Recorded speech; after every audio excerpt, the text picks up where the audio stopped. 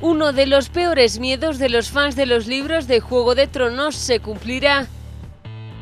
George R.R. Martin se ha resignado a que la serie de HBO termine antes que las novelas. De esta manera asume que el ritmo al que va la ficción ha terminado por alcanzar a la saga literaria. Así lo ha confirmado en una entrevista a Jake White en una convención de ciencia ficción en Washington.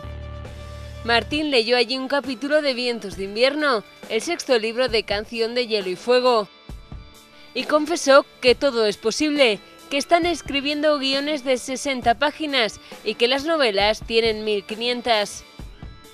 Hace poco se supo que las intenciones de HBO es que la serie dure 10 años y que tenga 8 temporadas y una precuela. Pese a lo dramático que pueda parecer, Martin se ha mostrado completamente despreocupado porque la serie supera a la saga literaria.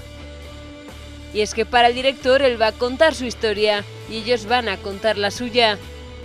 Pese a haber leído un capítulo del sexto libro, todavía no hay fecha para la publicación. Sin embargo, HBO sí que se encuentra rodando la sexta temporada de Juego de Tronos, que prevé emitirse en abril de 2016.